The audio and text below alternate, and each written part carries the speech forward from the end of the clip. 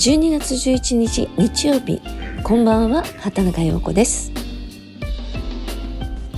12月11日から12月20日までの長島リゾート長島温泉湯あみの島畑中陽子歌謡ショーのために前日昨日長島温泉に入りました。